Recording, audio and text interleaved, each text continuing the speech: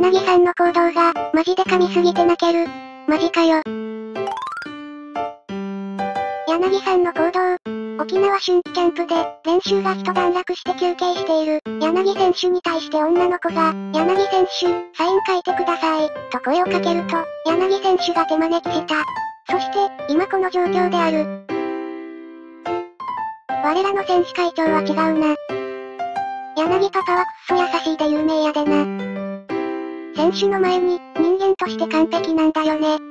この人間性を見習わんとあかん。中日の選手たちって、優しい人がマジで多いよね。他球団みたいに、スキャンダルが何もない球団。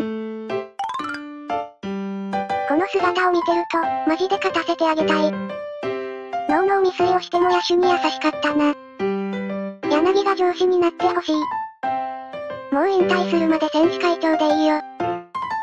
柳選手とか涌井選手みたいに、優しい先輩に囲まれた後輩選手は、幸せやろな。羨ましい。淳も笑ってんねん。記事を見て思ったことはコメント欄へ、高評価もぜひよろしくお願いします。